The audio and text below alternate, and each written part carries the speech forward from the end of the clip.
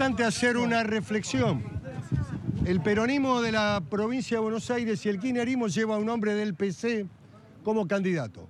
Un hombre que tiene sus orígenes en el Partido Comunista. Así que estas son las grandes distorsiones de esta propuesta. Estoy hablando de Axel Kicillof. Estas son las grandes distorsiones que tiene Unidad Ciudadana y el peronismo que apoya esa alternativa.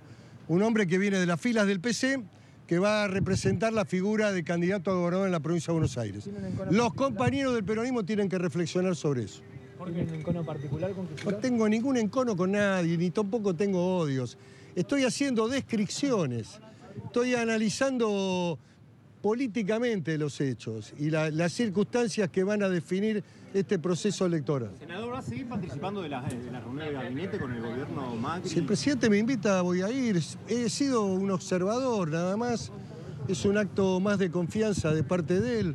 Todo lo que él a partir de ahora me convoque lo voy a hacer porque... ¿Aporta usted algo? No aporto nada porque fue una reunión de gabinete en donde los ministros hicieron una serie de respuestas y de, de- de, digamos, de los planes del gobierno. Así que eh, simplemente fui un testigo y el presidente me, me abrió un marco de confianza.